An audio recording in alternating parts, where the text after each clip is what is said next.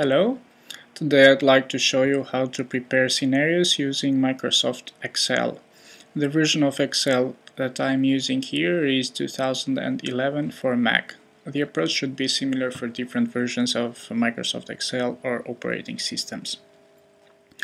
Let us assume that you have prepared some uh, uh, forecasting cash flows and you want to prepare the uh, value of equity to some company. The model that I'm using here is the model of free uh, operating cash flow to the firm. In order to use this model, the discounting factor or the discount rate that we should use is the weighted average cost of capital. That is, we take into consideration the, uh, the required cost of, um, of equity uh, or the required return rate of equity, but also the debt ratio of our company. So I assume that you already know how to calculate the weighted average cost of capital. In order to calculate it, you need to make quite a lot of assumptions. For example, assumptions about the risk-free rate when you are going to, to calculate the, the interest rate that you derive from the CAPM model, the beta, of the company, market risk premium, etc. etc. But if one of your assumptions changes, it means that your weighted cost, uh, your weighted average cost of capital is going to change, and uh, also the value of equity or your uh, your estimation or your valuation is going to change as well. So it will be a good thing to prepare different scenarios based on uh, based on these changes that you uh, think are most probable to happen. So in order to calculate the value of the equity in here, I have the free operating cash flow to the firm. These numbers that I have derived, of course, are related to some assumptions that I made and uh, to the previous uh, analysis or to the analysis from the previous years. After year 2017, I am assuming that the free cash flow to the firm is going to remain constant and uh, up to infinity. And for in order to discount this uh, uh, this uh, uh, amount here from infinity, I use the discounting rate 1 of the over WACC. However, the discount that I'm using brings the value up to the end of year 2017 but I need to have it at 2013 and for this reason I have to discount it again for five years. That is I have to to multiply the number that I derive from here by this discounting factor. Then I then I calculate here sorry. Then I calculate here the cumulative discounted uh, free cash flow to the firm, which is nothing else but just the sum of multiplication of these two uh, uh, cells or two rows, basically. If you click here, you see all the formula, that is multiplication of these two and sum at the same time. And for the very last one, we have three multiplications, that is, we have the F15, which is the discounting factor for five years, G14 which is the amount of money that I think is going to or I assume that is going to remain constant up to infinity and of course the discounting factor from infinity which is 1 over the discounting rate. And then I have to deduct the interest rate and cash and add cash at the bank and I'm going to have this uh, this number which is the value of equity that I am assuming. Okay, what I would advise you to do is to name the parameters of the WACC model. Naming is is a good idea because it makes the references to have a meaning for us when we are going to see for example when we produce scenarios or also when referring to, to the cells in here, for example, when we calculate the weighted average cost of capital. If we do not use the names, here at this formula, for example, we were going to see uh, instead of beta, for example, here we are going to see M, M2 or M3. I'm not sure what will be the number, yeah.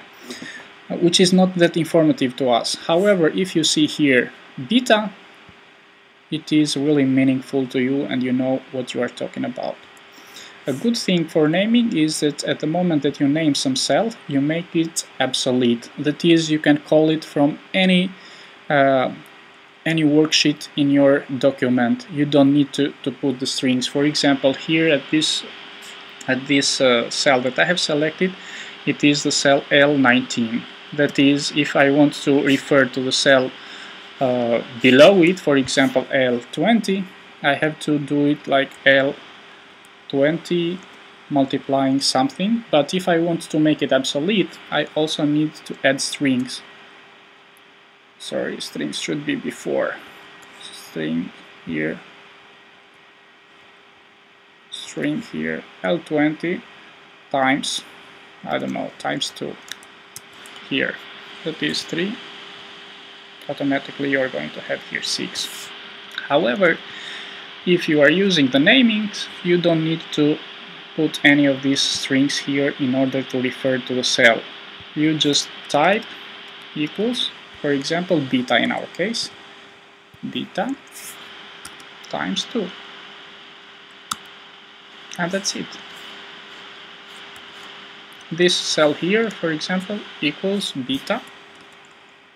You are going to have this nice pop up, pop up beta times 3 for example. You see that it makes it really useful if you are going to use the names. And of course you use the names for all of the parameters. For example, for this number here, uh, which represents the debt ratio, you name it debt ratio. And of course, at the finally, what you are doing is also you name the weighted average cost of capital. That is you have the name in here. By having that name if you see when I do the discount here I type just 1 over weighted cost, average cost of capital. If it was not named I, going, I was going to do it like M M10 however it is more informative to me now we can go and continue in preparing the, the scenarios let us assume that the scenario that we have here, that is with these parameters that we have here, are our basic scenario or the scenario that we think most probably is going to, to happen. Now we go and click the tools and go to scenarios. This uh, window is going to pop up. Here I have many scenarios because I have prepared them in advance. However, you are not going to have here any scenario and for this reason you need to add some scenario. And you click add and you have to write some name to the scenario. For example um, market risk premium. Premium increases by 2% for example. The next thing that you do is that you need to uh, give the changing cells scenarios. That is where to look. You are going to tell Excel well to where to look for cells that may have changed. This is already selected for me but you have to select it in case it is not that is you are going to select all the parameters of the, of the CAPM model that is from here up to here you see also the referencing here is made by using the strings because it needs to be absolute. And then you press OK. Now, because the default values here are going to be the, the values of your basic scenario, you need what you need to do is that you need to change the, uh, the cell that is related to the scenario that you just created. If you see from your left, for example, you have the names. That is why naming the cells is really useful. That is, you have the beta, and you know if you make some change, you know what you are doing. But if you did not have beta, for example, and you had some m string 3, it is not that useful for you to know that, okay, what cell you are changing and what is and, and how it is it related to the WACC model. Now, in the scenario that you just created, it was the scenario that the market risk premium increases by 2%, so you need to change this number to 0.1 and then you press OK. That is, you just created one scenario in here. You are going to do the same. Uh, if you want to create more scenarios, click Add, then some name, changing cells, and that is it.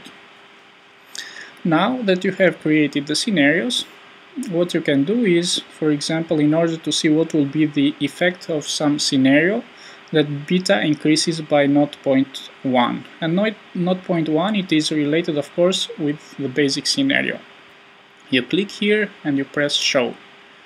At the moment that you press show you you can check that all the numbers from uh, here in your parameters of the model that is the yellow cells in here changed and also the value of equity here changed. Now I'm doing another scenario. Debt ratio increases by 5%. Press show. You see that everything here changes and value of equity again. If you noticed, what also changed there was the beta because my basic scenario was different from, uh, from the one that I just used, but nevertheless, always you have to prepare the changes with respect to the basic scenario. Okay. A good thing would be to see the effect of all scenarios at the same time. That is not to go and press show and to find to find out what will be the number. That is selecting some scenario, you press show. Select this one, you press show. That is not really informative to you. What you could do is that you prepare a summary. Oh, that is, you prepare uh, an outcome if each of these scenarios happens and what would be the final value of your valuation model. Thus you press summary. Now you make sure that you well probably you want to select other options but I would prefer to, pre uh, to, to check scenario summary and then the result cells this is very important because this should be the uh, the cell that would be reported to you in our case what we need is that we need to find the value of equity that is we don't need any of these other cells but we need the final value in here that is this number. So now I have all these pluses but the number that I need is only the B19 okay so now I press OK. And here is the outcome of each of, the, of these scenarios. That is for the current value. Our predictions hold, that is our basic scenario. Market risk premium increases by 1%, and if you see here, if this is the basic scenario, if market risk premium increases by 1%, the only number here that changes is the market risk premium, that is from 8% to 9%.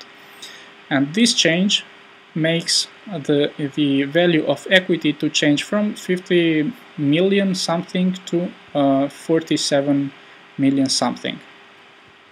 However, uh, if you have only the nominal values, probably it is not that informative. A good idea would be to add some more uh, some more rows in here, which uh, would, for example, uh, give you the uh, the change in percentage. For example, in one of in one of my uh,